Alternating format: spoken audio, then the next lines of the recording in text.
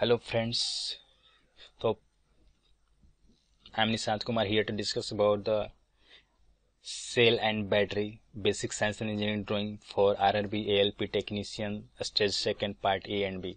देखिए RRB railway ALP technician का और आरपीएफ का ग्रुप डी का जो है, इसके लिए चल रहा है सेशन इसमें भी स्पेसिफिकली आपको क्या है जी एएलपी टेक्नीशियन का स्टेज जो सेकंड है, उसका पार्ट ए का है सिलेबस उसमें और पार्ट बी में इलेक्ट्रिकल इलेक्ट्रॉनिक्स में भी ये इंक्लूड है सेल एंड बैटरी ठीक है जी? तो आप इसको ध्यान से देखिएगा।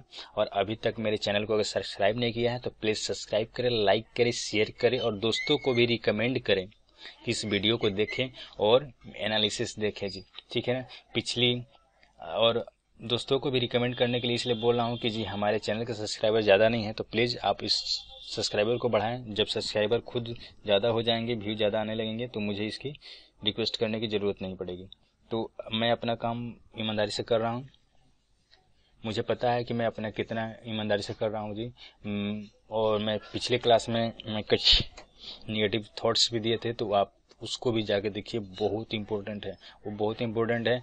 मैं प्लेलिस्ट में एक वीडियो बनाया गया है, दूसरे चैनल के द्वारा रिकॉर्डिंग उन्होंने किया गया मैं उसको भी यहाँ पे क्या किया हूँ प्लेलिस्ट में डाल दिया हूँ तो प्लीज़ आप उसको भी देखें। देखिए, मैंने वो प्लेलिस्ट बना रखा है फन विथ जॉब ऐसा ही कुछ करके।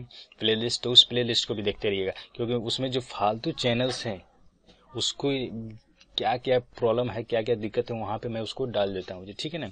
तो अगर मैं इलेक्ट्रॉनिक्स वालों को बोल रहा हूँ कि अगर आपने इलेक्ट्रिकल वाले जो अपने प्ले लिस्ट नहीं देखे तो प्लीज़ इलेक्ट्रिकल की आप वीडियो देखें, उसके बाद इलेक्ट्रॉनिक्स वाली वीडियो देखें। चलिए, ज़्यादा ज़्यादा देर न करते हुए आगे बढ़ते हैं और सेल और बैटरी के बारे में पढ़ते हैं जी। सेल और बैटरी में सेल एक, देखिए, अब बात करते हैं सेल तो सेल का क्या होता है जी? सिंबॉलिक रिप्रेजेंटेशन भी बहुत इंपॉर्टेंट है। तो सेल और बैटरी का सिंबॉलिक रिप्रेजेंटेशन भी पता होना चाहिए जी। तो सिंबॉलिक रिप्रेजेंटेशन देखिए, ये मैं कल इलेक्ट्रॉनिक्स का पढ़ाया हूँ लॉजिक गेट उसी का ये आपको है। तो प्लीज़ आप इलेक्ट्रॉनिक्स के हैं तो आप लॉजिक गेट का टॉपिक वहाँ से पढ़ सकते हैं इलेक्ट्रॉनिक्स का फोल्डर बना है जी। ठीक है? बात करते हैं सेल और बैटरी का सिम्बल ऐसे होता है जी। ये क्या होता है? सेल का सिंबल इसमें क्या होता है जी? ये पॉजिटिव साइड होता है नेगेटिव साइड एक छोटा होता है, एक बड़ा होता है प्लेट ठीक है ना जी? इसको हम सेल से बोलते हैं जी, या बैटरी बोलते हैं। बात की जाए, अगर इसी सेल को बहुत सारा ऐसे प्लेट लगा दिया जाए, ठीक है जी? बहुत सारा ऐसे बैटरी लगा दिया तो ये क्या है जी? हाई वोल्टेज को शो करता है हाई तो हम लोग यहाँ पे बात कर रहे थे प्राथमिक सेल और सेकेंडरी सेल में। तो प्राथमिक सेल में देखिए बोल रहा है क्या है? विद्युत वाहक बल द्वितीय की अपेक्षा कम होती है। होगा ही, क्योंकि क्या है जी चार्जेबल नहीं है और एक ही बार चार्ज हो जाएगा तो इसलिए क्या हो जाएगा, कम हो जाएगा। इसमें रासायनिक क्रिया क्या होती है जी? रिवर्सिबल होती है। इर इसमें क्या होता है? इरिवर्सिबल होती है। इरिवर्सिबल को बोला जाता है। इसको रिवर्सिबल बोला जाता है जी। प्राथमिक सेल का उदाहरण में देखा जाए तो बोल रहा है वोल्टेज सेल है जी, कितना वोल्ट का होता है? तो एक वोल्ट का होता है one point zero eight volt का होता है। डेनियल सेल, लेकलांची सेल, शुष्क cell, mercury cell, silver oxide cell. देखिए, इसका नाम याद रखना है, ये सेवन स्टार है जी। ये सेवन स्टार इसका नाम याद रखिएगा। प्राथमिक सेल में कौन कौन सा होता है? तो वोल्टेज सेल होता है, डेनियल सेल होता है, लेकलांची सेल होता है, शुष्क सेल होता है जी और मरकरी सेल होता है सिल्वर ऑक्साइड सेल। नाम इंग्लिश में बात किया जाता है वोल्टेक सेल तो इंग्लिश में ही नाम है। डेनियल सेल इंग्लिश में ही नाम है। लेकलांची सेल इंग्लिश में ही नाम है। ड्राई सेल इसका इंग्लिश में नाम होता है। Mercury cell, silver oxide cell तो इंग्लिश में ही नाम है। ठीक है जी? तो इंग्लिश भी हो गया, हिंदी भी हो गया। बस ड्राई सेल इसका नाम होता है इंग्लिश में। बाकी सब इंग्लिश ही नाम है उसमें। देखा जाए तो अगर उन्होंने इंग्लिश वालों ने रिसर्च कर रखा है इसीलिए उसके नाम पे। इसमें संचित सेल भी कहा जाता है, देखिए। बोल रहा है, इसको संचित सेल भी कहा जाता है। संचित इसलिए कहा जाता है, फिर से हम उसको क्या कर सकते हैं? रिकवर कर सकते हैं जी। क्या कर सकते हैं? रिकवर से करते हैं, संचित संचित कर सकते हैं।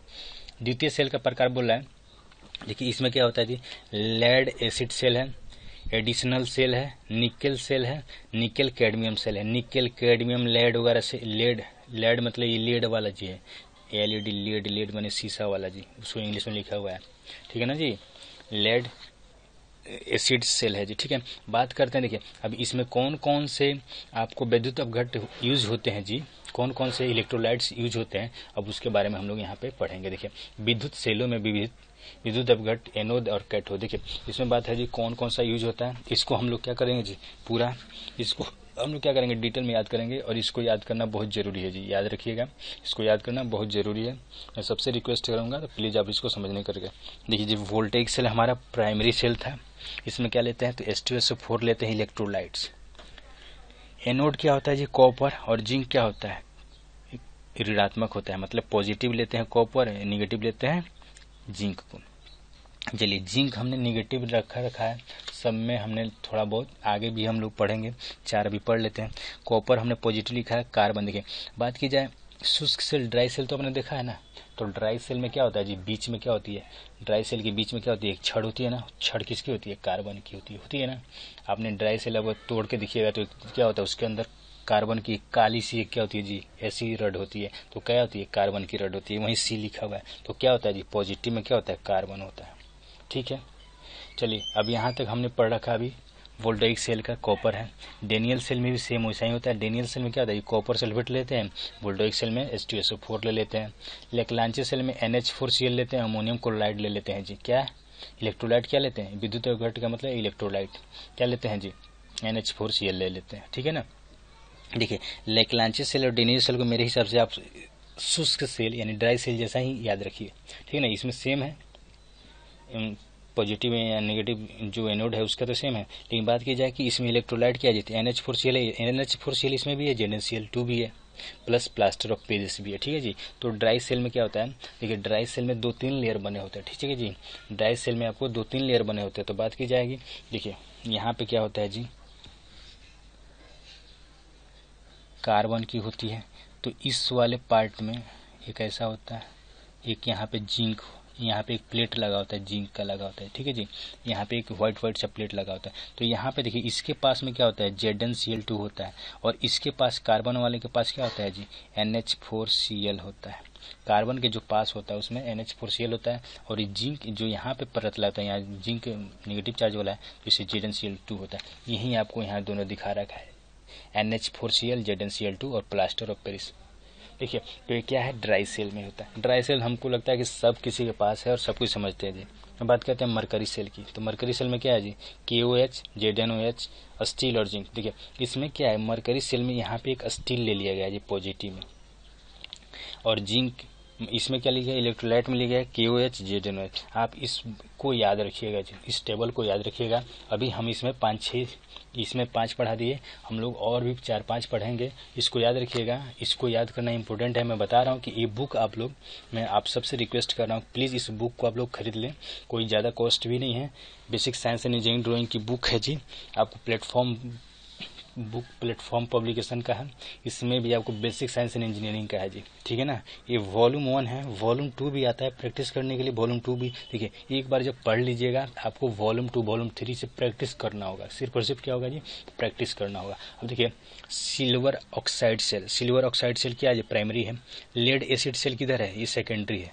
एस सीसा संचायक सेल बोलते हैं हिंदी में lead acid cell secondary additional cell या निफ है निकल और फेरस सेल बोला जाता है जी। ये किसमें आता है जी? सेकेंडरी में आता है। निकल के में किसमें आता है? सेकेंडरी में आता है जी। तो लेड निकल और आयरन एफ़ का मतलब क्या होता है? फेरस होता है जी। तो एडिशनल सेल भी इसको बोला जाता है। निकल कैडमियम भी बोला जाता है, देखिए। अभी यहाँ पे समझने वाली बात है जी। इसमें क्या होता है? सिल्वर और जिंक अब बताइए सिल्वर जब रहेगा तो कितना महँगा होगा जी? तो सिल्वर ऑक्साइड और जबकि सिल्वर ऑक्साइड भी यूज़ किया जा रहा है तो ये बहुत ही महँगा हो जाएगा जी हमारा इलेक्ट्रोलाइट ठीक है ना? यहाँ पर समझिएगा, ये बहुत महँगा हो जाएगा। तो ये किस स्पेशल वर्क में ही यूज़ किया जाता है? बात की जाए लेड एसिड का तो लेड एसिड देखिए, ये पीबी तो बहुत सस्ता है एच टू एस फोर भी सस्ता है तो ये लेड ऑक्साइड यूज़ होता है जी आपको, जो मैं बोल रहा हूँ ट्रक है, जो ट्रेन की बैटरी होती है, ये क्या जी वही है जी लेड एसिड है। निकल और फेरस सेल जो होता है, इसमें क्या होता है इलेक्ट्रोलाइट के होता है। ठीक है जी के ओ एच होता है। और इसमें आप कोई भी यूज़ कर सकते हैं यहाँ पे, इसलिए कोई इसमें नोटिफिकेशन नहीं है कि आप कौन सा यूज़ करेंगे, कौन नहीं करेंगे, क्योंकि सब इस यूज़ कर सकते हैं। निकल कैडमियम देखिए निकल कैडमियम में क्या होता है निकल और कैडमियम ही रहेगा। अब यहाँ पे जो इलेक्ट्रोलाइट है के और लिथियम है जी। के और क्या है जी? लिथियम है। यहाँ से देख सकते हैं। तो हमने ये क्या पढ़ा? अभी बैटरी के इलेक्ट्रोलाइट्स के बारे में पढ़े जी। बात की जाए, एक नोट है। नोट में देखिए क्या है सिल्वर ऑक्साइड सेल की दक्षता अधिक होती है। सिल्वर ऑक्साइड क्या है जी? तो मैंने बोला था कि ये महँगा भी है, इसलिए इसकी दक्षता भी है, इसलिए इसका उपयोग छोटे कैलकुलेटर में करते हैं। बैटरी की ऋणात्मक प्लेट अधिकतम जिंक का बना होता है। बैटरी का जो ऋणात्मक होता है, किसका बना होता है? जी, जिंक का बना होता है। देखिए, सिल्वर ऑक्साइड तो महँगा होगा भी तो दक्षता भी उसका ज़्यादा होगा ही होगा। तो ये हमारा नोट था जी, ठीक है ना? बात करते हैं बैटरी। तो बैटरी का सेलों के, बोला है सेलों के समूह को, यानी ग्रुप को क्या कहते हैं जी? बैटरी कहते हैं। देखिए छोटे छोटे सेल मिलकर क्या बनते हैं जी? बैटरी बनते हैं। हमने हेडिंग में ये आपको क्लियर नहीं किया था। यहाँ पे देखिए छोटे छोटे सेल मिलकर क्या बनाएँगे जी? एक बैटरी बनाएँगे। तो यही डिफरेंस है बैटरी और सेल में। यही समझने की ज़रूरत थी आपको। तो सेलों के समूह को क्या कहते हैं? बैटरी कहते हैं। इसका संयोजन मुख्यतः दो प्रकार का होता है। एक सीरीज़ होता है, एक पैरेलल होता है। सीरीज़ पैरेलल हमने कंसेप्ट पढ़ा रखा था। आप प्लीज़ ये सब सीरीज़ और पैरेलल का जो भी इसमें लिखा गया है, देखिए, इसमें दोनों सीरीज़ लिखा गया है। इसको आप समझिएगा और आप सीरीज़ और पैरेलल का जो फॉर्मूला था सीरीज़ और पैरेलल का फॉर्मूला था, इसमें आप बैटरी वाले में आप कमेंट कीजिएगा कि सीरीज़ का फॉर्मूला क्या होता है और पैरेलल का फॉर्मूला क्या होता है जी बैटरी के लिए? मैं आपको पढ़ा चुका हूँ, अगर मैंने आपके प्रीवियस लेक्चर देखे होंगे तो आपको पता होगा। मैं तो लड़कों से चाहूँगा कि आप सीरीज़ और पैरेलल का जो बैटरी का जो कनेक्शन है, उसका आप क्या बताएँ जी? उसका आप प्रोसेस बताएँ, ठीक है ना? तो देखिए श्रेणी क्रम में देखिए बैटरी क्या है जी? एक छोटा छोटा बैटरी लगा है और इसका इक्विलेंट ए भी एक बैटरी है। ये क्या पैरेलल में लगा हुआ इसका इक्विलेंट एक बैटरी होगा। तो उस बैटरी का आपको फार्मूला कमेंट करना है जी। आगे बढ़ते हैं। अधिक वोल्टेज या विद्युत वाहक बल प्राप्त करने के लिए सेलों की श्रेणी में जोड़ा जाता है। बोला है कि अधिक जैसे वोल्टेज चाहिए तो बहुत सारे ऐसे बैटरी क्या करेंगे जोड़ देंगे। ठीक है ना? बोला है, अधिक मान का करंट विद्युत धारा प्राप्त करने के लिए समानांतर में जोड़ा जाता है। अगर मान लीजिए अधिक करंट चाहिए तो क्या करेंगे, समानांतर में। अधिक वोल्टेज चाहिए तो क्या करेंगे, श्रेणी में जोड़ेंगे। इसमें सभी सेलों का विद्युत वाहक बल भी समान होता है। बोला है, इसमें सभी सेलों का विद्युत वाहक बल समान होता है? ऐसा ज़रूरी नहीं है जी, ये गलत पॉइंट लिखा हुआ है। इसमें करंट समान होता है और वोल्टेज भिन्न होता है। देखिए, इसमें क्या होता है जी? अच्छा देखिए, इसमें क्या है? बोल रहा है कि करंट क्या होता है जी? समान होता है वोल्टेज भिन्न होता है। ठीक है, अब यहाँ पे देखिए वोल्टेज अलग अलग हो सकता है सबका। कोई दिक्कत थोड़ा अलग अलग जब सेलिंग है तो अलग अलग वोल्टेज होगा। अलग अलग क्या होगा जी? करंट इसमें क्या होगा? समान होगा, अलग होगा, इसका भी हम डिसाइड नहीं कर सकते हैं जी। गलत लिखा हुआ है। चलिए, इसमें कम समय तक करंट प्राप्त किया जाता है। बोला कि, इसमें क्या है जी? कम समय तक करंट प्राप्त किया जाता है, इसमें अधिक समय तक करंट प्राप्त इसमें क्या है? ज़्यादा करंट है। तो क्या है? पैरलर में है तो इसमें ज़्यादा समय तक मिलेगा, ये सही है। लेकिन इसमें सेलो एक पॉइंट गलत है इसमें सभी सेलों का विद्युत वाहक बल समान होता है। ऐसा ज़रूरी नहीं है। इसमें देखिए, पाँच वोल्ट का या दस वोल्ट का भी हो सकता है वैसे कोई दिक्कत नहीं है। इसलिए गलत पॉइंट लिखा है, ठीक है ना जी? ऐसा कोई ज़रूरी नहीं आगे बढ़ते हैं। चलिए, आगे एक नोट लिखा हुआ है। बोला है कि विद्युत लेपन में जिस पर लेपन किया जाता है, उसे कैथोड के रूप में लिया जाता है। ठीक है। बोला है कि जिस पे लेपन करना है, क्या करेंगे जी? कैथोड के रूप में लेंगे। देखिए, यहाँ पे बोला है कि इस पे अगर लेपन करना है, मान लीजिए तो क्या करना है जी? इस पे लेपन करना है तो क्या करेंगे? इसको कैथोड के टर्म में लेंगे तो क्या होगा? क्या होगा जी? कैथोड के टर्म में लेंगे, क्या होगा? धीरे धीरे क्या हो जाएगा जी? बड़ा हो जाएगा। धीरे धीरे क्या हो जाएगा? ये मोटा हो जाएगा। एनोड क्या हो जाएगा? पतला हो जाएगा धीरे धीरे जिसका करना है, जिसका करना है, जैसे मान लीजिए, हमको ये आयरन है। आयरन पे करना है किसका?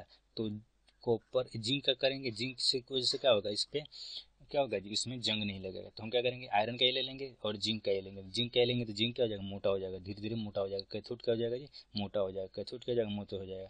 और ये क्या हो जाएगा? जिंक है तो अपने पतला होने लगेगा। जिंक पतला होने लगेगा। तो ये हमारा ऐसा बनना चाहिए। ठीक है ना? तो हम कैथोड पे लेते हैं। जिसका, जिस पे लेपन करना है, जैसे आयरन पे करना है, फिर से जिंक का करना है तो जिंक वाला ये लेंगे और ये आयरन वाला ये ले लेंगे तो आयरन को क्या लेंगे? कैथोड पे लेंगे ठीक है ना? इसको समझिएगा, इस पॉइंट को हमने क्लियर किया। आगे बढ़ते हैं जी। तो ये देखिए, आपको बैटरी कार्बन कलर कोडिंग है जी। क्या है जी? कार्बन कलर कोडिंग है। इसको हम आपको कार्बन कलर कोडिंग में देखिए क्या है जी। इसको मैं आपसे चाहूँगा कि इसको आपको याद कर लीजिए। कौन कौन से जी? आप याद कर लीजिए इसको। इसको याद करना के तरीका जो है, बहुत ही थोड़ा सा क्या है जी? डिफ़िकल्ट है, लेकिन डिफ़िकल्ट है तो कोई बात नहीं। आपको याद करिए जी, बायां हाथ याद रखिए। चलिए थोड़ा सा दिक्कत होगी, लेकिन समझिएगा। देखिए, मैं बोल रहा हूँ कि देखिए देखिए, इसको मोड़िए सिम क्या हो गया जी? पहले ब्लैक हो गया, ठीक है? फिर से क्या हो जाएगा?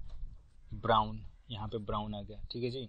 यहाँ पे रेड हो गया रेड हो गया, ठीक है ना इस वाले सबको इस वाले खांचे को छोड़ दीजिएगा। सब में इस वाले खांचे को छोड़ दीजिए सबको इस वाले खांचे को छोड़ दीजिए ठीक है ना? बी बी बी देखिए बी बी ये ज़ीरो था, ये वन था, ये टू था, ये थ्री था, ये फोर है फाइव है सिक्स है सेवन है एट है नाइन है ज़ीरो है जी। ठीक है ना? उस नाइन के बाद क्या है? नाइन के बाद टेन है। टेन के बाद क्या है जी? एलेवन है। तो ऐसा मैंने बता रखा है, लेकिन आपको थोड़ा सा समझिए अभी अभी डिजिट याद करने के लिए ज़ीरो से नौ तक। बी बी बी बी ठीक है जी? ब्लैक ब्लू बी बी ये क्या है जी मेरा? Red orange yellow green blue violet grey white gold silver ठीक है जी? यहाँ पे ध्यान रखिएगा। बोला जाता है B B B B Roy R O Y B B Roy great green, Britain. Britain देखिए जी बड़ा है। ब्रिटेन क्या है? बहुत बड़ा है। पहले क्या था? ब्रिटेन का दबदबा था। इससे हम लोग याद रखते हैं। Great Britain. ग्रेट ब्रिटेन हो गया जी। उसके बाद क्या है? Very violet, very good grey मतलब गुड वाइफ। वाइफ मतलब क्या? जाए डब्लू तो वाइफ आती है। यहाँ पे आप, आपको भी पता है, जब सगाई होती है तो इस वाले क्या करते हैं? जंगलिंग में आप क्या पहनते हैं? रिंग पहनते हैं। तो ये इस पे आएगा वेरी गुड वाइफ यहाँ पे खत्म होगा ग्रेट ब्रिटेन यहाँ पे खत्म होगा। अब देखिए ग्रेट वेरी गुड वाइफ सोने सोने जैसी बाल चांदी जैसा चमड़ा, याद कर लीजिए सोने जैसी बाल चांदी जैसा चमड़ा। ठीक है जी, यहाँ याद कर लीजिए। देखिए, ये मेरा ज़ीरो था, ये मेरा ज़ीरो था, ये मेरा क्या जी? वन हुआ, ये मेरा क्या हुआ? टू हुआ, ये मेरा three four five six seven eight nine तो great very good wife wife तक देखिए कहाँ आ गया? नौ तक आ गए जी। नौ तक आ गए ना? देखिए। वेरी गुड वाइफ कहाँ आ गया? नौ आ गए जी। तो यहाँ से आप समझ सकते हैं, हमने क्या क्या याद किया जी? डिजिट याद किया। Black B B zero one B B Roy great Britain very good wife सोने जैसी बाल चांदी जैसा चमड़ी याद रख लें। सोने जैसे बाल चांदी जैसे चमड़े हम लोग याद करने के लिए याद कर रहे हैं। यहाँ पे ध्यान दीजिएगा। तो हमने अभी चलिए ज़ीरो से नौ तक की बात कर रहे हैं। B B Roy great Britain while very good wife नौ तक हो गया जी। देखिए, पहला डिजिट दो होगा, इसको हमने याद किया। मल्टीप्लायर में देखिए तो दस के पावर ज़ीरो का मतलब क्या होता है जी? दस के पावर ज़ीरो का मतलब वन होता है। तो वन से मल्टीप्लाई हो जाएगा। मल्टीप्लायर के टर्म में अगर यूज़ किया जाएगा तो। दस के पावर एक, दस के पावर एक, दस के पावर दो, दस के पावर दस के पावर नौ। ठीक है जी, यहाँ तक आइए। ठीक है जी, यहाँ तक रहिए, कोई दिक्कत नहीं है। आगे दस के पावर नौ तक हो गया। ठीक है ना? दस के पावर नौ तक हो गया। अब बात की जाए, नौ के आगे बात बढ़ते हैं जी। तो गोल्ड और सिल्वर। गोल्ड का मतलब क्या होता है जी? गोल्ड का मतलब दस, सिल्वर का मतलब ग्यारह। चलिए, इसको हम लोग अभी याद नहीं करेंगे। अब देखिए, यहाँ पे अगर मल्टीप्लायर में याद कीजिएगा तो देखिए, दस के पावर क्या है जी? Minus one. दस के पावर माइनस टू ठीक है जी? तो एक बट्टा दस हो जाएगा और एक बट्टा सौ हो जाएगा मल्टीप्लायर में। ठीक है जी? यहाँ पे समझिएगा। अब बात की जाए तो इथी में आइए टोलरेंस में। टोलरेंस के लिए क्या करना जी? ए एक परसेंट ए दो परसेंट एक तीन परसेंट एक चार परसेंट ठीक है जी? उसके बाद पाँच परसेंट के लिए आ जाता है गोल्ड कलर आपसे दस परसेंट के लिए सिल्वर आता है जी। ठीक है जी? पाँच परसेंट के लिए दस परसेंट के लिए सिल्वर बात की जाए एक यहाँ पे ले लीजिए। No colour no colour no colour का मतलब होता है बीस परसेंट। नो कलर का क्या होता है जी? बीस परसेंट होता है। देखिए, इस बात को ध्यान रखिएगा नो कलर रहेगा मतलब कोई तीन ही कलर है चौथा कलर न रहे तो बीस परसेंट लेता अब बात की जाए कि इसका अप्लीकेशन हमने कहाँ सीखा जी? अभी देखिए, इसको हमको सीखना है जी, ठीक है ना जी? इसको हमको सीखना है। तो यहाँ पे देखिए, अब बात की जाए तो कोई भी जब रजिस्टर होगा, कोई भी रजिस्टर होगा, जैसे मान लीजिए हमारे पास क्या है जी? एक रजिस्टर है। ठीक है ना जी? हमारे पास एक रजिस्टर देखिए, हम इसको बनाने की कोशिश करेंगे। समझिएगा इसको। देखिए, एक रजिस्टर है मेरे पास। एक रजिस्टर है। इस पर चार कलर होगा जी। चार कलर होगा। तो ये जो दो कलर हैं, हमको डिजिट्स में देंगे। जैसे मान लीजिए, एक कलर का कोड वन रहा है, इसका टू रहा है तो हम वन और टू मान लेंगे। ठीक है जी? और तीसरा क्या देगा जी? दस के पावर मल्टीप्लायर देगा। दस के पावर जो भी मल्टीप्लायर रहेगा, मान लीजिए दस के पावर दो वाला मल्टीप्लायर ले लोगे प्लस माइनस क्या देगा? ये क्या देगा जी? टोलरेंस देगा। टोलरेंस मैंने एरर होता है मतलब कितना घट बढ़ सकता है जी? मान लीजिए, ये टोलरेंस के अनुसार हमारे पास आ गया दो परसेंट ठीक है? ठीक है तो हमारे पास क्या हो जाएगा? ये दो डिजिट मिला तो क्या हो जाएगा? बारह सौ रजिस्टेंस आया। उसमें दो प्लस घट बढ़ सकता है जी। तो हमने ये बता दिया कलर देख के कि हमारा उस रेजिस्टेंस का वैल्यू क्या है। समझिएगा? एक बार मैं फिर से आपको ये रिवीजन करा दे रहा हूँ जी। ये बी बी रोए वाला याद कर लीजिएगा देखिए। B B Roy great Britain very good wife सोने चांदी जैसे ठीक है? सोने जैसे बाल चांदी जैसे चमड़ी याद करें। आगे बढ़ते हैं जी। तो देखिए डिजिट हमने याद करके ज़ीरो से नौ नौ के बाद दस, ग्यारह हमको याद नहीं करना पड़ेगा जी इसके बाद, क्योंकि हमको खुद पता है कि ज़ीरो से जब नौ याद कर रखे हैं तो दस, ग्यारह थोड़ा ना बनाना है जी। हमको दस, ग्यारह नहीं बनाना है गलत लिखा हुआ है। ठीक है जी मल्टीप्लायर में बात करें, दस के पावर ज़ीरो, दस के पावर एक, दस के पावर दो, ऐसे ही सेम टू सेम मल्टीप्लायर है। टोलरेंस में one percent two percent three percent four percent और फाइव परसेंट क्या हो जाता है जी?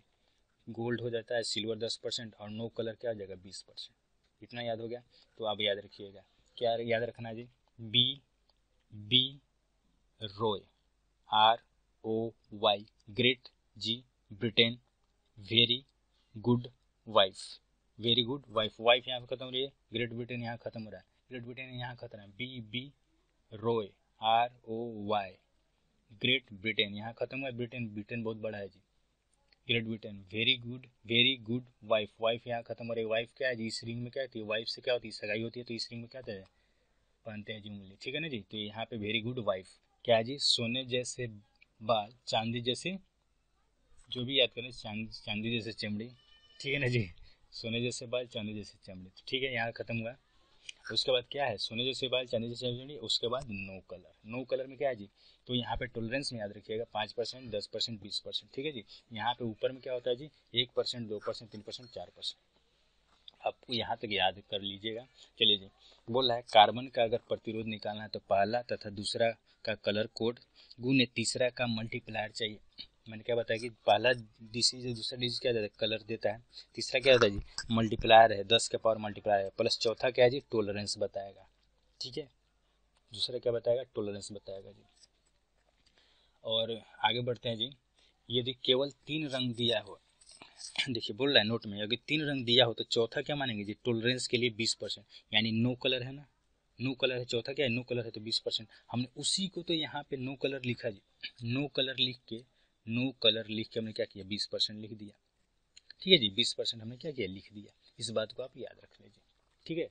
तो आगे बढ़ते हैं जी। बोल रहा है, एक भूरा पीला हरा सुनहरे, की कलर कोडिंग की सहायता से रेजिस्टेंस की वैल्यू बताना है देखो, भूरा लेना है जी। ठीक है जी, भूरा। कौन सा लेना है जी? भूरा लेना है, पीला लेना है जी। अब देखिए, हमको याद करना है, ब्लैक, ब्राउन। तो ब्राउन क्या है जी? ये ज़ीरो होता है, ये ज़ीरो होता है, ब्लैक, ब्राउन। तो ब्राउन क्या आ गया? वन आ गया। तो ब्राउन के लिए क्या आ जाएगा जी? ब्राउन भूरा के लिए वन आ गया। पीला। B B, R, O, Y. Y मैंने क्या होता है? पीला। येलो पीला। तो पीला के लिए क्या है? ज़ीरो, एक, दो, तीन, चार। तो चार आ गया। एक और चार, ठीक है जी? अब क्या है जी? भूरा, पीला हो गया, हारा। B B Roy great green से क्या आ गया? ग्रीन ग्रीन क्या हो जाएगा जी? ज़ीरो एक, दो, तीन, चार, पाँच। तो दस के पावर पाँच से क्या करेंगे जी? मल्टीप्लाई कर देंगे। प्लस सुनहरे। सुनहरे का मतलब क्या होता है जी? सोना होता है ना? सुनहरे का मतलब सोना कलर होता है। तो सोना के लिए क्या जी? पाँच परसेंट था और चांदी के लिए क्या था? दस परसेंट था। नो कलर के लिए बीस परसेंट था तो प्लस माइनस क्या लिखेंगे जी? पाँच परसेंट। अब यहाँ से मेरा कैलकुलेशन हो गया। क्या हो गया जी? चौदह सौ प्लस माइनस पाँच परसेंट। तो हम क्या करेंगे? ऐसे ही लिख देंगे। अगर ऐसे क्वेश्चन में नहीं दिया रहेगा तो क्वेश्चन ऐसे भी रेंज भी दे सकता है। देखिए इसको। चौदह गुने दस के पावर क्या है जी? पाँच प्लस माइनस पाँच परसेंट। तो देखिए, क्वेश्चन में ऐसे भी दिया जा सकता है। चौदह सौ चौदह सौ बोला। चौदह के पावर पाँच को ज़ीरो। पाँच ज़ीरो। प्लस माइनस पाँच परसेंट का मतलब क्या हो जाएगा इसका पाँच परसेंट निकालेंगे तो क्या हो जाएगा? चौदह का पाँच परसेंट, पाँच ज़ीरो, बट्टा बीस करेंगे, ज़ीरो, दो से करेंगे, सात, चार ज़ीरो, सात तो क्या हो जाएगा जी? चार ज़ीरो हो जाएगा। तो यहाँ से देख सकते हैं कि बोल रहा है चौदह, पाँच को ज़ीरो, प्लस माइनस सात पे चार को ज़ीरो। यानी हम इसको लिख सकते हैं चौदह ज़ीरो, नहीं, सात यहाँ लिख सकते हैं, चार को ज़ीरो, या तेरह तीन, चार ज़ीरो। यानी यहाँ से यहाँ तक ये रेजिस्टेंस का वैल्यू क्या कर सकता है? वैल्यू कर सकता है। ठीक है ना? तो यहाँ से यहाँ तक क्या कर सकता है जी? रेजिस्टेंस का वैल्यू वेरी कर सकता है। आप देख सकते हैं, चार ज़ीरो है, चार ज़ीरो है। ठीक है। यहाँ से यहाँ तक रेजिस्टेंस का वैल्यू वैल्यू करता है। तो ऐसे भी दिया हो सकता है कि यहाँ से यहाँ हो सकता है या ऐसे भी दिया हो सकता है। तो इस बात को आप ध्यान रखिएगा। ठीक है जी? आप देखिए, ऐसे भी दिया हो सकता है, ऐसे भी दिया हो सकता है। अगर बात करना है कि क्वेश्चन की प्रैक्टिस करना है तो क्वेश्चन की प्रैक्टिस करने के लिए मैं आपको एक वीडियो प्रोवाइड करा दूँगा। उस वीडियो को देखिएगा, जो भी क्वेश्चन होगा, जो भी क्वेश्चन होगा, वो मैं नहीं पढ़ाऊँगा। किसी और चैनल का सब्सक्राइब कर दूँगा।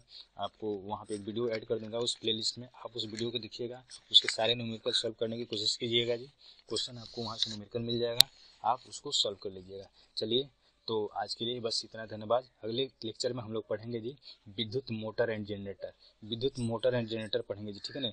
विद्युत मोटर एंड जनरेटर पढ़ेंगे। हम लोगों को देखिए, ज़्यादा नहीं पढ़ना है। हम लोग को थ्योरेटिकल पढ़ना है। हम लोग को इतना पढ़ना है कि हम लोग का क्वेश्चन क्या हो जाए जी? आसानी से बन जाए। आसानी से क्या हो जाए जी? बन जाए। प्लीज़ मैं आपसे रिक्वेस्ट करूँगा कि आप विद्युत मोटर जनरेटर कुछ डिटेल में ज़्यादा ना पढ़ें। इलेक्ट्रिकल वाले थोड़ा पढ़ेंगे, लेकिन इलेक्ट्रॉनिक्स वाले नहीं पढ़ेंगे जी। प्लीज़ इस बात को ध्यान रखिएगा। तो इस बात को ध्यान रखिए कि इलेक्ट्रॉनिक्स वाले ज़्यादा डिटेल में न पढ़ेंगे। इलेक्ट्रिकल वाले ज़रूर पढ़ेंगे, क्योंकि उनसे विद्युत मोटर और विद्युत जनरेटर डायनेमो से, ठीक है, विद्युत जनरेटर का नाम ही डायनेमो है जी तो इस बात को याद रखिए। ऐसे मैंने बहुत सारे लेक्चर देखे यूट्यूब पे कि विद्युत जनरेटर उन्होंने पढ़ा रखे हैं, लेकिन डायनेमो का नाम तक नहीं लिया है जी। क्या क्वालिटी है उनकी कि विद्युत डायनेमो को पढ़ाने के लिए दस दस लेक्चर लेते हैं विद्युत मोटर पढ़ाने के लिए, लेकिन डायनेमो नाम तक नहीं लेते हैं वो लोग पढ़ाने में लेक्चर में। तो आप समझ सकते हैं उनकी क्या क्वालिटी होगी। और बाद में जब क्वेश्चन डिस्कस होगा तो उसको बताएँगे लोग। सोचिए दस दस लेक्चर लेने का मतलब और डायनेमो नाम भी नहीं लेते हैं। तो चलिए, अभी तक अगर मेरे चैनल को सब्सक्राइब नहीं किया तो प्लीज़ सब्सक्राइब करें लाइक करें शेयर करें और दोस्तों को भी रिकमेंड करें। मैं चाहूँगा आप, चाहूँगा कि आप ज़्यादा से ज़्यादा शेयर करें और रियल ऑर्गेनिज्म जो उस फ्लोअर्स हैं, मैं उसी को लाइक करना चाहता हूँ। मैं भी बता दूँ कि मैं अपने चैनल को कहीं भी ना लाइक किया है, ना शेयर किया, ना सब्सक्राइब किया क्योंकि मैं जान, मैंने उसी को किया है जो मेरे ऑर्गेनिक व्यूवर्स हैं। मैं नहीं चाहता हूँ कि मेरे सब्सक्राइबर ज़्यादा हो जाए, लेकिन ऑर्गेनिक व्यूवर ना मिले। इसलिए शेयर से व्यू नहीं आ रहा है। मेरे आप चैनल के, मैंने एनालिटिकल करके देखा है कि 80 परसेंट मेरे चैनल यूट्यूब सर्च से आ रहे हैं। जी, मेरे कोई भी यूट्यूब सर्च से आ रहे हैं या गूगल सर्च से आए हैं। जी, इसलिए मैं ये नहीं चाह रहा हूँ कि मेरे एक्सटर्नल व्यू इतना आ जाए, लेकिन ऑर्गेनिक व्यू ना आए। ऑर्गेनिक व्यू मुझे चाहिए तो thank you thank you so much बस आज के लिए इतना ही। Thank you thank you so much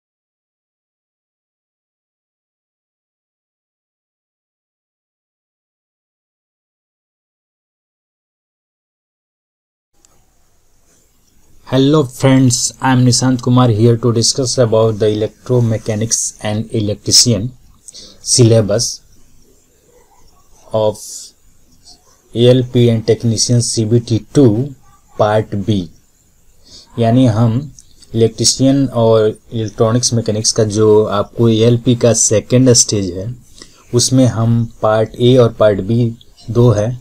तो पार्ट बी का सिलेबस डिस्कस करने वाले हैं। आपको भी पता है कि पहले जो पेपर था, एक में आता था। सभी ब्रांच का एक में आता था, जिससे क्या होता था कि सभी ब्रांच के क्वेश्चन बढ़ जाते थे। अगर बात की जाए, सभी ब्रांच के क्वेश्चन बढ़ जाते थे। लेकिन अब क्या किया गया है? इलेक्ट्रिशियन को अलग कर दिया गया इलेक्ट्रॉनिक्स वालों को अलग कर दिया गया है। मैकेनिक तो सबको अलग कर दिया गया है। तो इससे क्या हुआ है कि जो क्वेश्चन का और एक पेपर भी अलग से बना दिया गया है। तो इससे क्या होता है कि अब एक क्वेश्चन का एरिया बढ़ गया है और उन्होंने डायरेक्ट ऐसा कुछ सिलेबस मेंशन नहीं किया है। उन्होंने ऐसा कुछ सिलेबस डायरेक्ट नहीं दिया कि ये हमारा सिलेबस है इलेक्ट्रॉनिक्स का है, ये मेरा इलेक्ट्रिकल का है। ऐसा उन्होंने मेंशन नहीं किया है। तो अब दिक्कत ये हो जाती है कि भाई, हमें पढ़ना कितना था सेमेस्टर तो हमें आईटीआई में तो चार सेमेस्टर पढ़ना था। चार सेमेस्टर में अलग अलग सब्जेक्ट होते थे। तो उसमें इलेक्ट्रॉनिक्स के जो जो पोर्सन है इलेक्ट्रिशियन के जो जो पोर्सन है, सबको पढ़ना पड़ेगा। तो बात की जाए कि इलेक्ट्रिशियन इलेक्ट्रॉनिक्स का कितना, लगभग साठ परसेंट क्या है जी? सिलेबस तो सेम है। साठ परसेंट सिलेबस क्या है? सेम है, लेकिन कहीं पे इलेक्ट्रिशियन को डीप में पढ़ना है, कहीं इलेक्ट्रॉनिक्स को क्या पढ़ना है? सरफेसियल पढ़ना है। कहीं इलेक्ट्रिशियन को डीप में पढ़ना है सॉरी इलेक्ट्रॉनिक्स वाले को डीप में पढ़ना है और इलेक्ट्रिशियन वाले को सरफेसियल पढ़ना है। कहीं है कि आपको इलेक्ट्रॉनिक्स के कुछ ऐसे टॉपिक है जो आपको इलेक्ट्रिशियन में नहीं है, बिल्कुल नहीं है।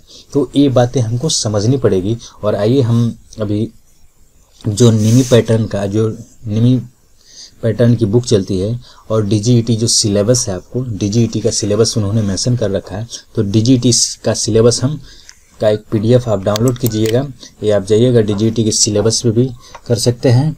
और मैं इसको अगर देखा जाए तो ये आपको गूगल पे सर्च करने पे ही फ़र्स्ट लाइन में ही मिल रहा है आपको। तो आप जाइए और वहाँ से आप डाउनलोड कर सकते हैं। बात की जाए तो पहले सेमेस्टर में आते हैं तो इसमें आपको देखिए, सिलेबस में दिखा रखा है, ये सब उसका है। इसमें बहुत सारे सब्जेक्ट्स हैं। एक सेमेस्टर में बहुत सारे सब्जेक्ट पढ़ने होते हैं, लेकिन जो इलेक्ट्रॉनिक्स से रिलेटेड होगा, वो हमें क्या होगा? हमें पढ़ना ही पड़ेगा। तो देखिए, बात की जाए तो पहले है ट्रेड ओरिएंटेशन की बात करना है। इसमें क्या करना है जी? ट्रेड एनसीबीटी के सर्टिफिकेट के अनुसार क्या है? हमें सेफ्टी सेफ्टी साइंस ये सब पढ़ना है। आपको भी पता है कि सेफ्टी जो है सेफ्टी आपको फ़र्स्ट पार्ट में पढ़ना है। तो सेफ्टी हमारा इंपॉर्टेंट है, ये इन्होंने सिलेबस यहाँ डिस्कस कर रखा है। बात करते हैं उसके बाद हैंड टूल की। तो हमें टूल सभी ब्रांच को पढ़ना है। टूल क्या करना है जी? सभी ब्रांच को पढ़ना है। वही टूल वाले टॉपिक हमको क्या करना है जी? यहाँ पे पढ़ना है। टूल आपको इलेक्ट्रिकल इलेक्ट्रिकल वाले पढ़े हैं, इलेक्ट्रॉनिक्स वाले भी पढ़ेंगे और मैकेनिकल वाले भी पढ़ेंगे। तो इस बात का ध्यान रखें कि ये सबको पढ़ना है। और टूल में देखा जाए तो आपको क्या है जी? स्क्रू ड्राइवर है, हैक्सॉ है, हैमर है, नाइफ है, ट्विज़र है टेस्टर है, प्लायर है। तो ये सब हमको यहाँ पे पढ़ना है। आपको याद रहे कि टूल जो है मैकेनिकल टूल पढ़ना है इलेक्ट्रिकल टूल पढ़ना है इलेक्ट्रॉनिक्स टूल पढ़ना है। ठीक है? आगे बढ़ते हैं। तो एसी और इलेक्ट्रिकल केबल पढ़ना है। देखिए, हमको इलेक्ट्रिक देखिए, हम आपको अगर बात की जाए तो ये इलेक्ट्रिकल में भी है इलेक्ट्रॉनिक्स में भी है ये टॉपिक तो आप मेरे इलेक्ट्रिकल वाले फोल्डर में प्लेलिस्ट में जाइए और वहाँ से आप इलेक्ट्रिकल वाले जो भी है ए सी डी सी मैंने पढ़ा रखा है peak to peak R M S time period तो आप वहाँ से भी वीडियो देख सकते हैं। तो इसमें हमको क्या करना पड़ना है जी? ए सी में पढ़ना है, देखिए R M S value peak value time period frequency ठीक है single phase three phase supply पढ़ना है। और हमको डीसी सप्लाई में तो क्या होता है वोल्टेज करंट होता है, उसमें ये सब आर एम एस टर्म वगैरह नहीं होता है। इंसुलेटर पढ़ना है कंडक्टर पढ़ना है, ठीक है जी? अब आगे बढ़ते हैं। तो देखिए, सेल और बैटरी, सेल और बैटरी भी हमको पढ़ना है। अब वही बताया कि हमें ई एनालॉग मल्टीमीटर, डिजिटल मल्टीमीटर होते हैं। सेल, बैटरी सेक्शन पढ़ना है, हाइड्रोमीटर पढ़ना है, इलेक्ट्रोलाइट्स पढ़ने हैं। तो ये क्या है? एक्चुअली कुल मिलाकर बात यह है कि हमको बैटरी के बारे में पढ़ना है। बात करते हैं तो हमारे सर्किट में इलेक्ट्रॉनिक सर्किट में बात की जाए तो दो कंपोनेंट होते हैं, एक एक्टिव कंपोनेंट होता है, एक पैसिव कंपोनेंट होता है। तो हमारा जो पैसिव कंपोनेंट है पैसिव कंपोनेंट कौन कौन सा होता है? जो हम इलेक्ट्रिकल में पढ़ते हैं जी R L C resistor capacitor और इंडक्टर तो ये जो क्या है पैसिव कंपोनेंट है और पैसिव कंपोनेंट में आपको हमको ये सब पढ़ना है, क्या पढ़ना है? ओम स्लो पढ़ना है के पढ़ना है के पढ़ना है वोल्टेज पढ़ना है करंट पढ़ना है। तो ये सब आप जाइए इलेक्ट्रिशियन वाले जो प्लेलिस्ट में मैंने बना रखा है, उसमें आपको ये सब मिल जाएगा, इसका लेक्चर आपको मैंने उसमें डीप में डिस्कस किया एसी से डीसी में कैसे कन्वर्ट करते हैं, ये सब। चलिए, अब आते हैं ट्रांसफार्मर ट्रांसफार्मर भी दोनों स्टेप दोनों को पढ़ना है। ट्रांसफार्मर में बात की जाए तो दोनों को पढ़ना है, इसमें step down step up step transformer और पार्ट्स ऑफ़ ट्रांसफार्मर भी पढ़ना है। जो एक ट्रांसफार्मर है, आपको दोनों को पढ़ना है, बहुत डीप में पढ़ना है। ध्यान रखिएगा, इसको डीप में पढ़ना है जी। एसी और डीसी मेज़रमेंट की बात करते हैं तो देखिए, हमको एसी मेज़रमेंट कंपोनेंट और डीसी मेज़रमेंट कंपोनेंट दोनों अलग अलग होते हैं। हमको, देखिए सीआरओ होता है डीसी वोल्टेज मीटर होता है करंट एमीटर होता है तो ये सब हमको पढ़ना है यहाँ पे एसी और डीसी मेज़रमेंट डिवाइसेस पढ़ना है। ये दोनों क्या है जी? मैग्नेटिक इंडक्शन मीटर है, रेंज एक्सटेंशन है, ये सब जो हम लोग डीसी वोल्टेज मेजर करते हैं, उसके लिए इंस्ट्रूमेंट अलग चाहिए और एसी मेजर करने के लिए हमको अलग चाहिए। जैसे एम आई एम सी चाहिए हमको मीटर तो सब आपको सिलेबस में दिया गया है। तो यहाँ से देख सकते हैं फ्रीक्वेंसी मेजर करने के लिए हमको सी आर ओ चाहिए। तो ये सब हमको मेज़रमेंट ए सी और डी सी मेज़रमेंट जो है, जो भी क्वान्टिटी उनको मेजर करने के लिए हमको पढ़ना है। चलिए आगे बढ़ते हैं सोल्डरिंग या डिसोल्डरिंग स्विचेज पढ़ना है इसमें पुल्ली आपको पीसीबी बनाना है ऐसी बनाना है सोल्डिंग वोल्डिंग करना है तो डिसोल्डिंग करना है तो इसके थ्योरी पढ़ना है, ये थ्योरेटिकल है पूरा। पूरा का पूरा। अब बात करते हैं तो इलेक्ट्रॉनिक्स में आपको दो तरह के सेमीकंडक्टर होते हैं एक्सटेंसिक सेमीकंडक्टर होता है इंट्रिक्सिक सेमीकंडक्टर मतलब एक शुद्ध होता है, एक अशुद्ध होता है सेमीकंडक्टर अर्धचालक। तो उसी सबको पढ़ना है, उसके, उसी अर्धचालक से हमको डायोड बनाना है। डायोड से जेनर डायोड बहुत तरह के डायोड होते हैं, उस डायोड को पढ़ना है। पीएन जंक्शन पढ़ना है फॉरवर्ड बायस रिवर्स बायस पढ़ना है आपको। डायोड ब्रिज पढ़ना है मॉडुलेशन पढ़ना है फिल्ट्रेशन पढ़ना है। जो हम इस फिल्टरेशन भी पढ़ते हैं कि हमको क्या करना है, जी, जो वेरिएशन है, उसको कम करना है। टनल डायोड वेरेक्टर डायोड आपको ये सब सिलेबस में पढ़ना है, हमको इसको डीप में पढ़ना है जी। ए बी दोनों में है, लेकिन इलेक्ट्रॉनिक्स वालों को थोड़ा डीप में पढ़ना है और इलेक्ट्रिकल वालों को थोड़ा इसको सरफेसियल पढ़ना है जी। आगे बढ़ते हैं तो आईसी है। आईसी में आपको क्या है जी? तो सेवन एट और सेवन नाइन जो ओपेम्प है, रेगुलर ओपेम जो है, रेगुलेटर का काम करता है, उस ओपेम के बारे में पढ़ना है पॉजिटिव, नेगेटिव होते हैं, ये सब ओपेम से आपको थोड़े से बेसिक्स पढ़ने हैं, ज़्यादा नहीं पढ़ना इसमें। बात करते हैं कि एम एस ऑफ़िस वगैरह अब बात कर दिया है तो आईटी लिटरेचर आपको पढ़ना है फ़र्स्ट पार्ट में तो वहीं आईटी लिटरेचर का आपको यहाँ पे पार्ट दिखा रखा है, क्या कहे यही पार्ट उसको वहाँ पे डाला गया, जिसमें बारे में हमको क्या पढ़ना है सॉफ्टवेयर पढ़ना है इनपुट आउटपुट डिवाइस पढ़ना है माउस पढ़ना है कीबोर्ड पढ़ना है जर वर्किंग पढ़ना है C C D C D D D V D ये बूटिंग वूटिंग ये सब आपको वहाँ पे पढ़ना है। आई टी टूल क्या है माउस क्या है ब्लूटूथ क्या है, ये सब आपको वहाँ पे डिस्कस करना है जी। कंप्यूटर नेटवर्किंग है टीसीपीआईपी थोड़ा सा पढ़ेंगे। टीसीपीआईपी हम लोग यहाँ पे थोड़ा सा पढ़ेंगे, ज़्यादा नहीं पढ़ेंगे। और उसके बाद हम लोग को एक्सेल केवल पढ़ेंगे, ठीक है जी? फाइबर ऑप्टिक्स थोड़ा सा पढ़ेंगे और उसके बाद हम लोग का ज़्यादा नहीं पढ़ेंगे इसमें।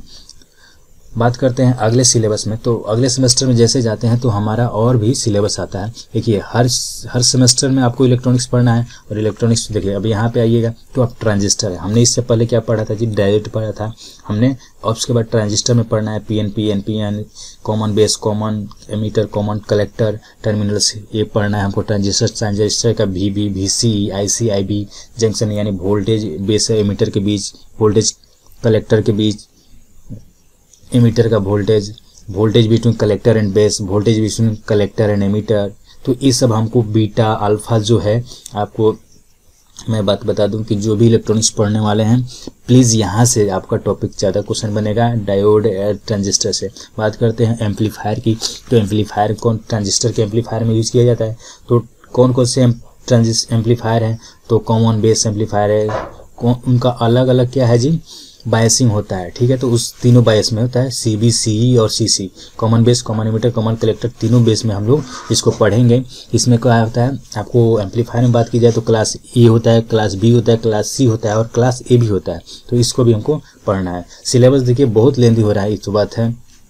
बात की जाए तो Hartley crystal oscillator R C oscillator feedback और विदाउट फीडबैक और सिलेटर पढ़ना है। वेब शेपिंग अब इसी से देखिए क्लिम्पर होता है, क्लैम्पर होता है, ये जो क्या होता है, हमको जो सर्किट है एसी, उसको हम लोग क्या करता है, उसको अलग डिफरेंट शेप देते हैं, जिससे हमारा क्या होता है तो ये सब पढ़ना है हमको। पावर इलेक्ट्रॉनिक्स में बात की जाए तो यहाँ पे आपको फेट पढ़ना है मॉसफेट पढ़ना है बीजेटी के बारे में पढ़ना है, gate drain source, terminal, voltage, current, ये सब रिलेशन पढ़ना है, ट्रैक, डैक पढ़ना है ईजीटी पढ़ना है, ये भी इंपॉर्टेंट है, बहुत इंपॉर्टेंट है। बात की जाए मॉसफेट और जीबीटी तो ये भी इंपॉर्टेंट है MOSFET I FET N FET ये सब IGBT ये सब आपको हमको यहाँ पे पढ़ना है। देखिए तो सिलेबस देखा जाए, उसके बाद आता है ऑप्टो इलेक्ट्रॉनिक्स तो ऑप्टो मिस होता है लाइट और लाइट वाले इलेक्ट्रॉनिक्स जो डिवाइसेस हैं, जैसे एलईडी है एलसीडी है तो आपको एलडीआर है लेज़र है तो आपको ये यहाँ से देख सकते हैं। ये सब भी हमको पढ़ना है। एसएमडी ज़्यादा उतना पढ़ना नहीं है, लेकिन फिर भी थोड़ा सा हम लोग वो पीसीबी वाले में टॉपिक में कवर हो जाएगा।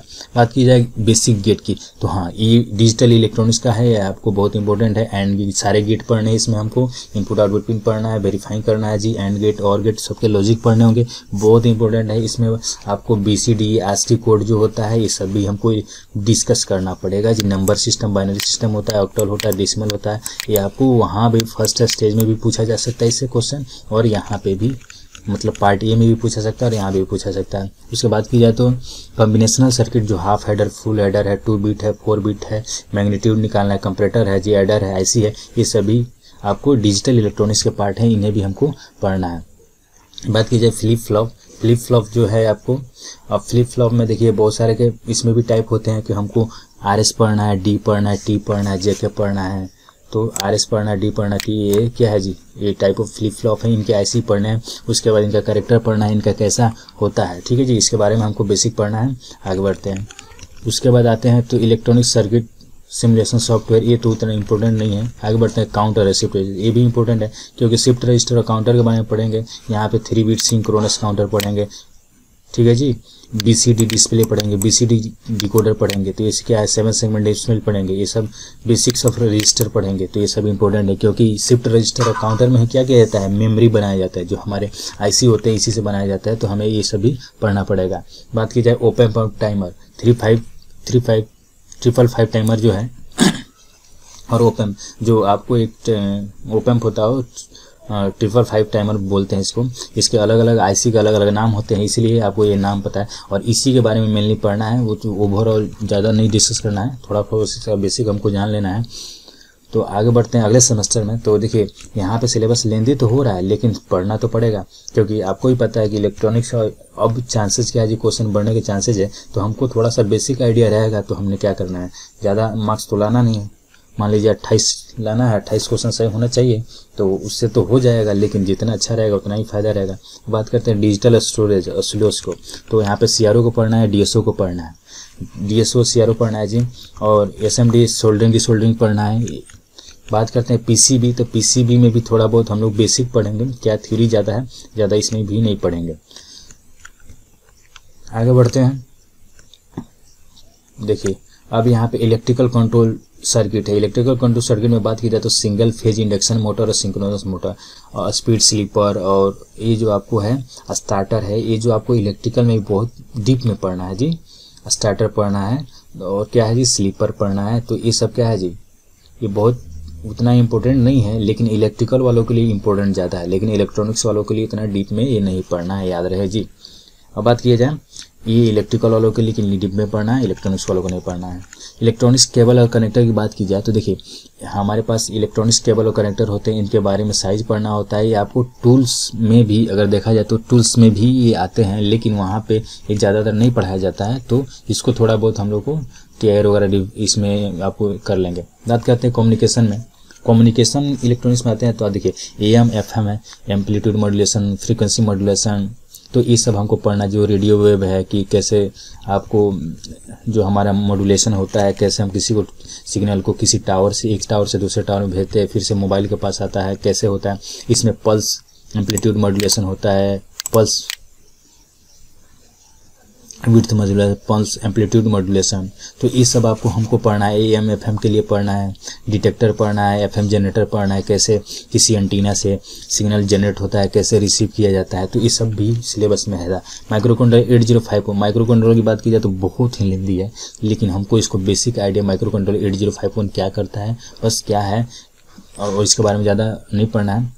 बात की जाए सेंसर ट्रांसड्यूसर हाँ तो ये है आपको इलेक्ट्रॉनिक्स प्योर इलेक्ट्रॉनिक्स डिवाइस हमको इसको सेंसर के बारे में पढ़ना पड़ेगा, क्योंकि आपको भी पता है कि जो हम सेंसर जो है, आप देखिए, जो सोलर सेल फोटोवोल्टाइक सेल है, क्या है, एक तरह का सेंसर ही है, वो क्या करता है हीट एनर्जी को सेंस करके क्या करता है इलेक्ट्रिक में जनरेट कर देता है। इलेक्ट्रिक जैसे ही इलेक्ट्रिकल वेव जनरेट हुआ, हमने क्या हुआ, एक सेंसर की तरह यूज़ करते हैं, लेकिन हम लोग उसको नाम क्या दिया है फोटोवोल्टाइक सेल दिया जाता है। तो बहुत सारे ऐसे टर्म है तो ये सब प्योर इलेक्ट्रॉनिक्स के थी कंपोनेंट्स हैं, इनको हमको पढ़ना पड़ेगा। ठीक है? तो अब बात करते हैं डिजिटल आईसी में। तो आईसी में देखिए जी आईसी में हमको ज़्यादा नहीं पढ़ना है, क्योंकि ये ये जो है, बहुत डीप में हो जाता है, और एक आईसी में पता है आपको करोड़ों क्या होते हैं बाइनरी फ्लिप फ्लॉप सर्किट होता है, और इतने छोटे सर्किट को करोड़ों जब ten to power five ten to power nine होते हैं मिलियंस गीगास होते हैं तो इसलिए ज़्यादा हमको नहीं पढ़ना है, लेकिन इनके बेसिक्स जो है काउंट डाउन एलईडी क्लैप वगैरह हमको ये सिलेबस में रखा है तो इसको हमको थोड़ा बहुत थ्योरी पॉइंट ऑफ़ व्यू से पढ़ेंगे। आगे बढ़ते हैं, अगले सेमेस्टर में देखिए, यहाँ पे सिलेबस आपको लग रहा होगा कि बहुत लेंदी बताया जा रहा है यहाँ पे, लेकिन मानिए आपको ये डीजी डीजीटी का सिलेबस आप डाउनलोड कीजिए, खुद आपको पता चल जाएगा कि सिलेबस क्या है जी। बहुत ही लेंदी है, बहुत ही लेंदी है। इसमें कोई डाउट नहीं है। बात करते हैं फाइबर ऑप्टिक से। तो आपको भी पता है, आपने भी बहुत क्वेश्चन फ़र्स्ट पार्ट में याद कर रखा होगा कि टोटल इंटरनल रिफ्लेक्शन पर क्या काम करता है जी? तो फाइबर केबल जो हमारा होता है, जिसमें क्या होता है? इंटरनेट चलाते हैं, वो फाइबर ऑप्टिक्स किस पे काम करता है? तो टोटल इंटरनल रिफ्लेक्शन पे काम करता है। वहीं फाइबर ऑप्टिक्स किससे बनाया जाता है, उसी के बारे में हमको क्या पढ़ना है? Type of fibre optics cable specification पढ़ना है जी। किस किस बेसिस पे वो काम करता है किससे उसका सिग्नल एक जगह से दूसरी जगह जाता है। आपको रेलवे में भी पता है कि फाइबर ऑप्टिक्स पे ही जो कोई ट्रेन किस स्टेशन पर कैसे पास हो गई, कब छोड़ रही है, कब आ रही है, ये आपको फाइबर ऑप्टिक्स सिग्नल ही देता है। फाइबर ऑप्टिक सेक्शन है तो ये भी इंपॉर्टेंट हो जाता है। डिजिटल पैनल की बात की जाए तो डिजिटल पैनल क्या है जी? आईसी है एलईडी है, ये सब क्या होता है? बहुत सारे इसमें मॉड्यूलर डिकोडर ड्राइवर वगैरह होते हैं। इनको तो ये इतना इम्पोर्टेंट नहीं है, लेकिन इसको छोड़ ही देना हमारे हिसाब से सही रहेगा। एकदम बिल्कुल इसको छोड़ देना सही रहेगा डिजिटल पैनल मीटर को। बात की जाए एस एम पी इसको भी छोड़ दीजिए, ये ज़्यादा इंपॉर्टेंट नहीं है। बात की जाए यूपीएस की यूपीएस के बारे में थोड़ा सा जान लेंगे, इसका थ्री पॉइंट भी क्या है, कैसे टेस्ट करते हैं, इसका स्पेसिफिकेशन क्या होता है, कितना तरह के होते हैं। बात की जाए सोलर पावर ये इंपॉर्टेंट है रिन्यूएबल एनर्जी आजकल बहुत सारे सोलर सिस्टम के सोलर एनर्जी के बारे में बात की जा रही है रिन्यूएबल एनर्जी के बारे में बात की जा रही है तो ये आपको इंपॉर्टेंट टॉपिक है। और हम लोग इसमें इसमें रूफ रूफ पैनल आता है सोलर पैनल आता है तो ये सब हम लोग इन्वर्टर आता है इलेक्ट्रिकल डिवाइसेज आते हैं तो कैसे कन्वर्ट किया जाता है, कैसे एनर्जी स्टोर किया जाता है, ये सब हमको यहाँ पे डिस्कस करने वाले हैं। देखिए, अब बात की जाए सेल फ़ोन तो सेल फ़ोन में देखिए, आपको भी पता है कि हम थ्री जी फोर जी की बात कर रहे हैं फाइव जी सेवन जी की बात कर रहे हैं तो यही सेल फ़ोन है जी। यही G S M C D M क्या डिफरेंस है? थ्री जी फोर जी में क्या है? अब तो इसमें थ्री जी फोर जी नहीं है, लेकिन इसमें जो टू जी है टू जी और वन जी का ही जी एस एम और सी डी एम का बात किया जा रहा है। तो अभी तो उतना हमें थ्योरी में बस G S M C D M के बारे में पढ़ना है। थ्री जी फोर जी के बारे में नहीं पढ़ना है, और ज़्यादा ऐसे हमको सिलेबस चाहिए नहीं। बात करते हैं एलईडी हाँ ये इंपॉर्टेंट है। एलईडी एलसीडी एलईडी टीवी ये सब इंपॉर्टेंट है। इसके बारे में थोड़ा बहुत थ्योरी पढ़ेंगे, और इनसे रिलेटेड जो है क्वेश्चन डिस्कस किया जाएगा। क्योंकि देखिए एलईडी और ये जो है, आपको ये अच्छा है टॉपिक्स है, छोटे दिखते हैं, लेकिन क्वेश्चन इससे बनते हैं। लेजर हुआ लेजर इसमें शायद कहीं हो, मैंने कहीं छोड़ दिया होगा लेजर भी आपको सिलेबस में है। तो ये सब, अब अब यहाँ पे हमारा सिलेबस एंड होता है। बात करते हैं कि अब कुछ लड़कों को ये वीडियो देखने के बाद थोड़ा सा परेशानी भी हो रहा होगा कि अरे इतने लंबा सिलेबस है, लेंदी है। तो हाँ जी, सिलेबस तो लेंदी है, लेकिन आपको भी पता है कि ज़्यादा स्कोर नहीं करना है। हमको स्कोर बहुत ही कम करना है। तो तो बेस्ट ऑफ़ लॉक और ज़्यादा घबराई नहीं, थोड़े बहुत सिलेबस मैं भी कवर करूँगा। तो बात की जाए, आप ही इलेक्ट्रिकल वाले पार्ट आप देखिए। इलेक्ट्रॉनिक्स वाले पार्ट भी मैं धीरे धीरे बनाकर वीडियो अपलोड करूँगा। तो thank you guys thank you so much और बात की जाए कि आप इतना देर बने रहे इस लेंदी प्रोसेस में, बहुत उबाऊ टॉपिक था। तो अब आगे वाले चैप्टर आएँगे इंटरेस्टिंग होंगे। तो चलिए, और बस अब तक अगर मेरे चैनल को सब्सक्राइब नहीं किया तो प्लीज़ सब्सक्राइब करें लाइक करें और शेयर करें और दोस्तों को भी रिकमेंड करें। और पहले मैं ये इलेक्ट्रॉनिक्स वाले प्लेलिस्ट देखने से पहले मैं आपको रिकमेंड करूँगा कि आप इलेक्ट्रिकल वाले प्लेलिस्ट को आप पहले ख़त्म कीजिए। वहाँ जो आपको, और पार्ट ए पे ज़्यादा फोकस कीजिएगा, ये पार्ट बी है। आपको भी पता है कि ज़्यादा नहीं है, इसमें एक बार सिलेबस देखिए। जितना बस बन रहा है, बन रहा है, ज़्यादा क्वेश्चन इसमें होगा नहीं हार्ड भी नहीं होगा, आपको भी पता है। और ज़्यादा लेंदी नहीं होगा, क्योंकि इलेक्ट्रॉनिक्स का अगर अगर देखा जाए सिलेबस तो टफ दिखने से लग रहा है, लेकिन क्वेश्चन जो बनाया जाएगा सरफेसियल बनाया जाएगा। आपको भी पता है कि ये तो कोई गेट आउट का एग्ज़ाम है नहीं। और इंजीनियरिंग सर्विसेज़ का भी एग्ज़ाम नहीं है कि उतना हार्ड पूछा जाएगा। डीएमआरसी से तो इसका लेवल डाउन ही रहेगा। हाँ लेकिन डीएमआरसी तक हमको लेवल तक इसका प्रिपरेशन करना पड़ेगा। ठीक है जी? सिलेबस आप डाउनलोड कर सकते हैं और फिर से वहाँ से भी देख लीजिए क्या क्या सिलेबस में है। और मैं सिलेबस कवर कराऊँगा। तो बात की जाए कि मैं ज़्यादातर इंग्लिश वर्ड यूज़ करूँगा, हिंदी में कम ही करूँगा, लेकिन इससे कोई घबराने वाली ज़रूरत नहीं है। पढ़ने वालों के लिए हिंदी और इंग्लिश मीडियम पर कोई फ़र्क नहीं पड़ता है। चलिए okay thank you thank you so much